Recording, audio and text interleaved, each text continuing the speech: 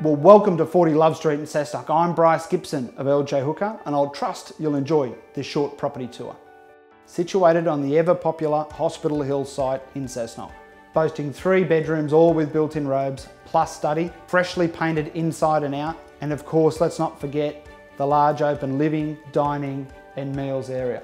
And if you've got a cook in the family, they'll love this kitchen with a large 900 oven, plus cooktop and range hood, ample bench space, centrally located in the middle of the home. What more could you want?